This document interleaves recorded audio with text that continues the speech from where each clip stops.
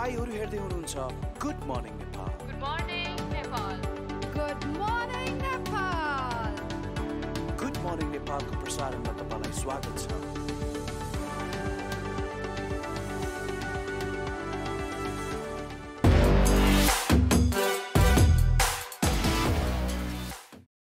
नमस्कार good morning नेपालमा स्वागत छ यहाँहरू। सबैजनालाई यहाँहरूको शुभ दिनको कामनासहित आज पनि हामी उपस्थित भइसकेका छौँ।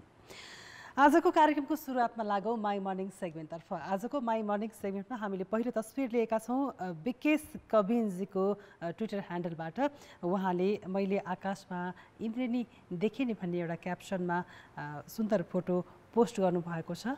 हामी अब क्रममा यो तस्विर देखाउने प्रयास गरिरहेका छौँ। त्यो तस्विर सँगसँगै यति बेला हामीले देखाएको तस्विर मान्ठाजीले पठाउनु भएको तस्विर हो यो। आजसम्म लिली कस्तो हुन्छ थाहा थिएन। जिन्दगीभर कसलाई कमल ठान्थे त्यो लिली निस्क्यो। अब फेरि अर्को तनाव सुरु भयो भनेर उहाँले कमलका फुलहरूका तस्विरहरू आफ्नो सामाजिक सञ्जालमा पोस्ट गर्नुभएको रहेछ। हामीले उहाँको ट्विटर ह्यान्डलबाट यो तस्विर लिएका छौँ। यदि तपाईँहरूसँग पनि यस्तै तस्विरहरू छन् भने तपाईँले हाम्रो ठेगाना रहेको छ केटिभी डट जिएमएन यसै गरी हाम्रो ट्विटर ह्यान्डल रहेको छ at the rate official GM नेपालमा पठाउन सक्नुहुनेछ। अब लागौँ आजको कार्यक्रमको विषयवस्तुतर्फ। विशेष गरी यो कोरोनाको टाइममा सबै क्षेत्रहरू प्रभावित भएका छन् त्यसमाथि अझ बढी प्रभावित क्षेत्र रङ्गमञ्च पनि हो। यो रङ्गमञ्चले यो कोरोनाका टाइममा कस्तो खालका समस्याहरू बिहोर्यो अब कसरी बिउतिँदैछ त नाटकघर? यस विषयमा आज हामी कुराकानी गर्दैछौँ। आज हामीसँग कुराकानीका लागि यति बेला नाटक लेखक तथा निर्देशक सुलक्षण भारती हामीसँग प्रत्यक्ष हुनुहुन्छ। स्वागत छ यहाँलाई। धन्यवाद सम्पूर्ण कान्तिपुर टेलिभिजनलाई म धन्यवाद व्यक्त गर्न चाहन्छु। मलाई यहाँ बोलाउनुको आराम हुनुहुन्छ? आराम के छ यो नाटक अब सुरु हुँदैछ कि छैन? के गर्दै हुनुहुन्छ यहाँहरूले? नाटक अब लगभग दुई वर्षपछि बिस्तारै चलमलाउँदैछ अब विभिन्न नाटकघरहरू अ, खुल्ने तयारीमा छन्। त्यसै गरी हामीले पनि एउटा नयाँ नाटक घर खोलेका छौँ पुरानो घर भनेर। सिनामङ्गलमा छ। यही असोज एक गतेबाट हामी नयाँ नाटक म लिएर आउँदैछौँ। यो मको विशेषता के हो? यो म भनेको के हो? यसमा कस्ता खालका पात्रहरू हुनेछन्? यो मञ्चन हुँदै गरेको नाटकको बारेमा पनि भनिदिनुहोस् न। म यानि तपाईँ। तपाईँ यानि म भनेपछि यो विशेषतः हामी सबैको कथा हो जस्तो लाग्छ। एकल प्रस्तुति छ यसमा। यसले समय परिवेश र हामीभित्र कति हामीहरू छन् त? तपाईँ एकजनाभित्र कतिजना तपाईँ हुनुहुन्छ भन्ने विषयलाई लिएर चाहिँ कुरा गरिरहेको छ। कतिजना कलाकारहरू हुनुहुन्छ? तयारी त यहाँहरूको भइरह होला यो एकल प्रस्तुति हो। एकजना मात्र कलाकार हुनुहुन्छ। प्राविधिकहरू। सहित गरेर पुरै टिम त हाम्रो लगभग चार पाँच छ- छ नौ दसजना छौँ पुरै टिम। तर मञ्चमा चाहिँ तपाईँले एकजना मात्र देख्नुहुन्छ। लगभग एक घन्टा पन्ध्र मिनटको छ नाटक। असोज एकदेखि बिससम्म चल्छ। तपाईँहरूले अब यो पुरानो घर भनेर नयाँ नाटक गर्नै सुरुवात गर्न लाउनु भएको छैन हजुर। अब मान्छेहरूलाई अब यो बिचमा त कोरोनाको कारणले गर्दा नाटक हेर्ने बानी पनि छुटिसक्यो नि त। अब कसरी हामी नाटकलाई बिउत्याउन सक्छौँ त अब? यो विषय आफैमा एउटा हामी पनि सोचि नै रहेछौँ अब हाम्रो काम भनेको काम नाटक गर्ने हो। अनि नाटकलाई प्रेम गर्ने मान्छेहरू नाटकलाई बुझ्ने मान्छेहरू पनि हुनुहुन्छ। र मलाई आशा छ उहाँहरू पक्कै पनि आउनुहुन्छ। र बिस्तारै फेरि नाटक पुरानै अवस्थामा फर्किन्छ भन्ने चाहिँ आशा लिएको छु मैले। अहिले अब कति क्षमतामा कसरी दर्शकहरूलाई प्रवेशको अनुमति दिनुहुन्छ यहाँहरूले? हाम्रो हल सानो छ। हामी जम्मा सयजना अडियन्स अटाउन सक्छौँ। त्यसमा हामीले मात्र चालिसजनालाई चालिसजना दर्शक अटाउने निधो गरेका छौँ किनकि कोरोनाको महामारी अझ पनि खासमा कायमै छ हामी लकडाउनबाट खुलेको अलिकति डर त कायमै छ। त्यही भएर सकेसम्म प्रिकसन अप्नाएर कसरी चाहिँ नाटक गर्न सकिन्छ भन्ने हाम्रो प्रयास हो। त्यही भएर हामीले नाटक पनि एकल नाटक रोज्यौँ। त्यो धेरैजना कलाकार हुनुहुन्न मञ्चमा जस्तै यो कोरोनाको टाइममा त अब दुई वर्ष ठप्पै भयो भनौँ न यो रङ्गमञ्च क्षेत्र नै। यहाँहरूले कतिको समस्याहरूसँग जुझ्नु पर्यो यो टाइममा चाहिँ? अब सबैको भोगाइ फरक होला। सबैले मैले त भर्खर नयाँ नाटकहरू बनाउँदै थिएँ। अनि त्यो नाटकहरू ठ्याक्क खुल्ने क्रममा चाहिँ कोरोना आइदियो र बन्द भयो भने चाहिँ ब्याजदेखि लिएर सम्पूर्ण कुराहरू थिए। र दुई वर्ष नाटक घर रेडी भएर पनि दुई वर्ष हामी नाटक गर्न पाएनौँ। गाह्रो त असाध्यै गाह्रो बनायो। अब तर मलाई लाग्छ त्यो गाह्रो मलाई मात्र थिएन। सबैलाई थियो। गाह्रो त अभियसली थियो तपाईँ एउटा कलाकार पनि हुनुहुन्छ लेखक पनि हुनुहुन्छ होइन? जब तपाईँ नाटकको लागि रङ्गमञ्चमा उत्रिनुहुन्छ नि त्यो बेलामा चाहिँ तपाईँको अब जब तपाईँको सुरु हुन्छ नाटक त्यो बेलाको छेड कस्तो हुन्छ? तपाईँहरू आफै पनि नाटकमा भिजिरहनु भएको देखिरहेका हुन्छौँ हामीले होइन? कस्तो हुन्छ त्यो छेड चाहिँ? आम रूपमा अहिले हामीले तपाईँलाई देखिरहँदा र तपाईँ नाटकमा प्रवेश गर्दा तपाईँ मनदेखि छिरिरहनु भएको हुन्छ नि त्यो छेड चाहिँ कस्तो हुन्छ? मलाई बडा अद्भुत लाग्छ जब म मञ्चमा प्रवेश गर्छु। क्यारेक्टरभित्रै छिर्नुहुन्छ यहाँहरू। हाम्रो कोसिस रहन्छ। चरित्रभित्रसम्म जाने कोसिस जहिले पनि रहन्छ। म पूर्ण रूपमा त भन्दिनँ। अझ धेरै समय बाँकी छ त्यहाँसम्म पुग्नको लागि। तर हामी सधैँ कोसिस चाहिँ एकदम अनेस्ट भएर गरिरहेको हुन्छौँ। कसरी त्यो चरित्रसम्म पुग्ने कसरी त्यो चरित्रलाई निर्वाह गर्ने भन्ने कोसिस चाहिँ जारी हुन्छ हाम्रो। यो नाटकमा युवा पुस्ताको चासो कतिको छ अहिले चाहिँ? मलाई देखिराख्नु भएको छ म नाटक घर बनाइरहेको छु नाटक नै गर्छु भन्ने लागिरहेको छु। यो हिसाबले त युवा पुस्ताको चासो त छ जस्तो लाग्छ मलाई। सस्टेन हुन सकिन्छ यो नाटकबाट मात्रै? गाह्रो पनि छ हेर्नुहोस् साथै गाह्रो छ। तर अब सस्टेन हुन नसकिने पनि होइन है तर अब तपाईँको डिमान्ड के छ? अब तपाईँलाई गाडी चढ्नु छ होइन? अब भने नि एउटा राम्रो रेस्टुरेन्ट अब हामी साधारण होटेलमा गएर खाजासाजा खाने यसो साइकल मोटरसाइकल चढ्ने त्यो तरिकाले हेर्ने हो भने त सस्टेन हुन गाह्रो छैन। अब तपाईँको डिमान्ड के छ? होइन। तपाईँ कसरी लाग्नुभयो यो नाटकमा चाहिँ? मलाई लाग्छ यो कलाकार बन्ने एउटा प्यासन थियो क्या अनि हिरो नै बन्ने भनेर आएको हो।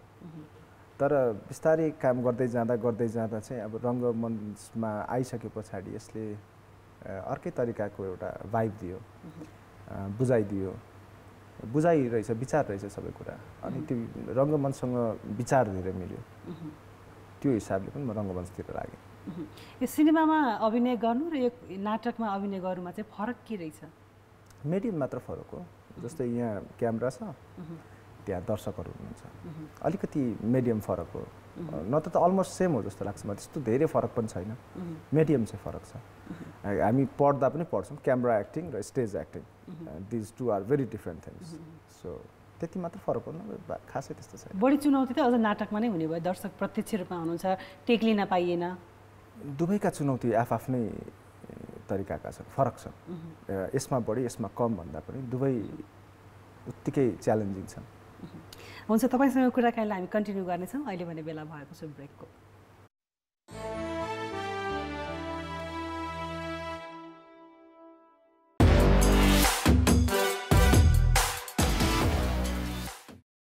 ब्रेकपछि गुड मर्निङ नेपालमा पुनः स्वागत छ।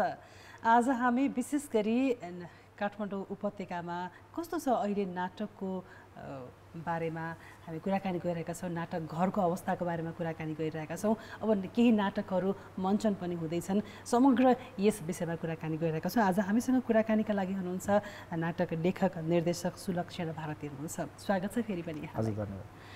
अब हामीले अगाडि कुरा गरिहाल्यौँ नाटकको अवस्थाको बारेमा। अब तपाईँ आफूले लेख्नुभएका अब तपाईँ आफूले मञ्चन गर्नुभएका नाटकहरू कति छन्? त्यो बारेमा पनि कुराकानी गरौँ अ, मैले अहिलेसम्म लेखेका र मञ्चन गरेका खेल्न त मैले धेरै नाटकहरू खेलेँ तर म आफैले लेखेको नाटक चाहिँ छ सातवटा छ होला।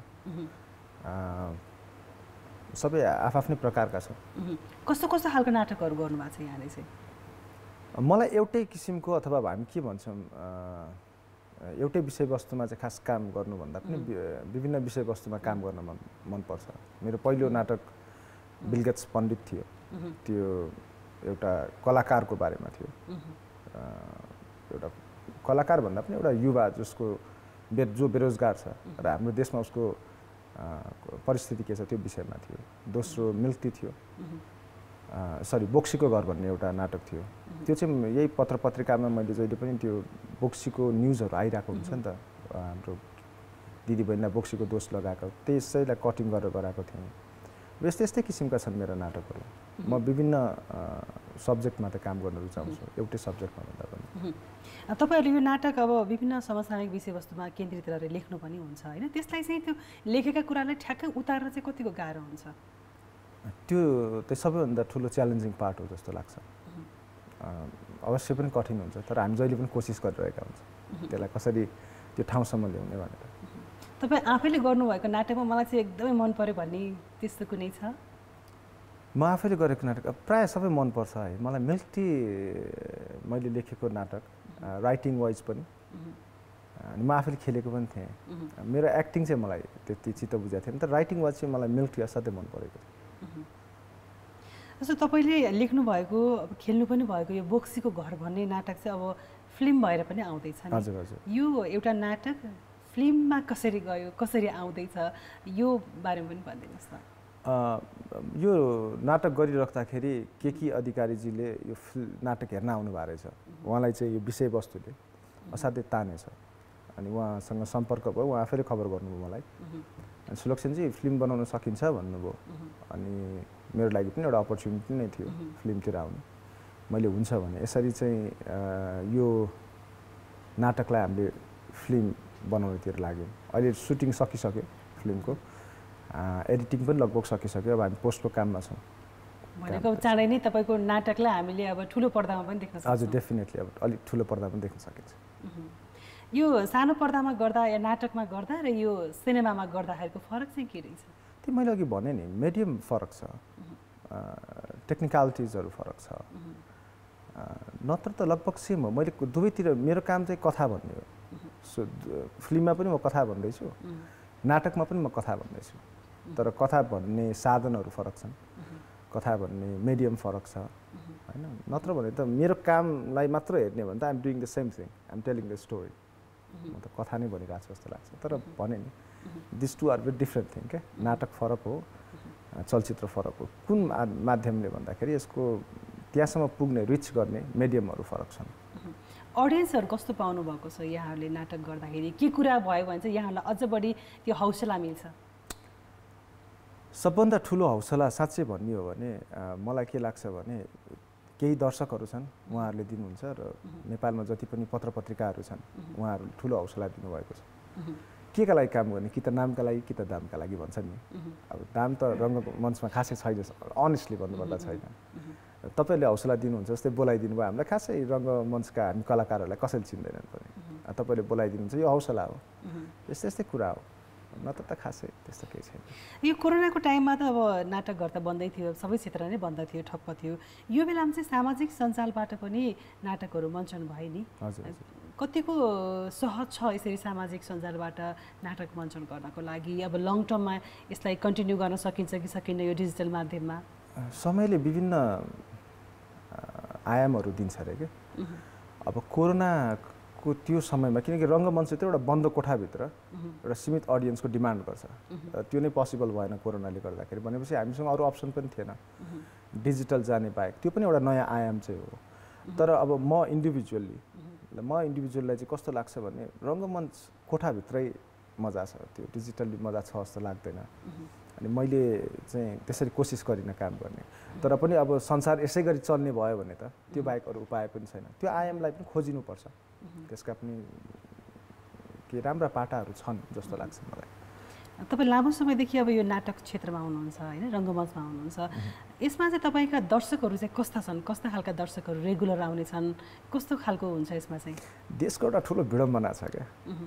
मलाई दुःख के लाग्छ भने प्रायः युवाहरू जति पनि हुनुहुन्छ हाम्रो रेगुलर अडियन्स। हरेक वर्ष चेन्ज भइरहेको हुन्छ क्या किन भन्नुहुन्छ भन्दा उहाँहरू विदेश गइराख्नु भएको छ क्या। हाम्रो अडियन्सहरू एउटा ठुलो अडियन्स चाहिँ हरेक वर्ष देश छोडेर जानुहुन्छ है। यो एउटा ठुलो दुर्भाग्य छ। दुर्दशा यो हाम्रो मात्र सम्पूर्ण देशको दुर्दशा हो जस्तो लाग्छ। त्यो बाहेक हुनुहुन्छ रेगुलर अडियन्सहरू हुनुहुन्छ जसले नाटकलाई माया गर्नुहुन्छ जो एकदम साहित्यको नजिक हुनुहुन्छ भाषाको नजिक हुनुहुन्छ। उहाँहरूले साँच्चै राम्रो क्रिटिकल्ली हामीलाई कमेन्ट गर्नुहुन्छ। हुनुहुन्छ त्यस्ता अडियन्सहरू जसले कुनै अब नाटक छ भने यदि त्यो प्रकाशित भइसकेको छ भने पढेर आउनुहुन्छ क्या नाटक। अनि पढेर आइसकेपछि उहाँहरूले हेर्नुहुन्छ। अनि उहाँहरूसँग त्यो गफ गर्न पनि मजा आउँछ क्या। वैचारिक बहस हुन्छ वैचारिक कुराहरू हुन्छ। कति कुरा त अब निर्देशक भएर म आफैले गरेका चिज पनि अथवा कलाकार भएर गरेको कुरा मलाई थाहा नभएका कुराहरू उहाँहरूले गर्नुहुन्छ र साइट खोलिदिनुहुन्छ क्या जसले गर्दाखेरि भोलिको पर्फर्मेन्समा फरक पर्छ। So there are good audience राम्रो अडियन्सहरू हुन्छ। अब हामी अन्त अन्तमा आएका छौँ। अन्तमा सोध्न चाहे यहाँलाई अब यो कोरोनाले थलिएको जुन यो रङ्गमञ्च अब यसलाई उकास्नको लागि के गर्न सकिन्छ र कलाकारहरूलाई हौसला बढाउनको लागि चाहिँ के गर्न सकिन्छ जस्तो लाग्छ यहाँलाई? अब एउटा मुख्य कुरा भनेको राज्य। राज्य कति राज्यले कति जिम्मेवारी लिन्छ भन्ने कुरा पनि हो। अहिलेसम्म जति पनि रङ्गमञ्च अहिले काठमाडौँमा कौशी थिएटर छ जहाँ अहिले नाटक भइरहेको छ केही बबाल कुरा अब दुई तिन दिन मात्र छ हेर्न जानु होला। जति पनि नाटक घरहरू छन् निजी एउटा एउटा कलाकार अथवा एउटा निर्देशकको आफ्नो इच्छामा बनेका नाटक घरहरू छन्। सरकार अलिकति जिम्मेवार भइदिने हो किनकि रङ्गमञ्च कला यो देशको एउटा ठुलो महत्त्वपूर्ण पाटो हो। क्या यसलाई बिर्सिनु हुँदैन जस्तो लाग्छ। अस्ति कान्तिपुरमा पनि एउटा सम्पादकीय छापिएको थियो। बडा रमाइलो बडा राम्रो लाग्यो बडा पढ्यो यदि सरकार जिम्मेवार भइदिने हो भने हामीले त यहाँसम्म ल्याएका छौँ नि त रङ्गमञ्चलाई। हामी त कोसिस गर्दैछौँ नि त। अलिकति मात्र पनि सरकारको तर्फबाट सरकारले एउटा कुनै प्लानिङ गरेर यो सबै नाटकहरूलाई कसरी सस्टेन गर्ने अथवा उनीहरूलाई कसरी हेल्प गर्ने? भन्ने कुरा गऱ्यो भने चाहिँ अवश्य पनि रङ्गमञ्च अझ फक्रिन्थ्यो होला जस्तो लाग्छ मलाई। हुन्छ यहाँको आगामी दिनको लागि हामी शुभकामना दिन चाहन्छौँ। यहाँको आगामी नाटक मको लागि र यहाँको अब नयाँ बन्दै गरेको यो पुरानो घर नाटक घरको लागि पनि धेरै धेरै शुभकामना दिन चाहन्छौँ। यति भन्दै हाम्रो नाटक हुँदैछ म सिनामङ्गलमा पुरानो घर भन्ने थिएटर छ। कृपया आइदिनु होला। असोज एक गतेदेखि असोज बिस गतेसम्म हुँदैछ। यहाँहरूले यहाँ बोलाइदिनु एकदम खुसी लागेको छ। धन्यवाद। थ्याङ्क यू सर आजको लागि कार्यक्रम गुड मर्निङ नेपालको निर्धारित समय सकिएको छ। भोलि फेरि नयाँ विषयवस्तुका साथमा गुड मर्निङ नेपाल लिएर उपस्थित हुनेछौँ। कान्तिपुर टेलिभिजन हेर्दै गर्नुहोला। नमस्ते।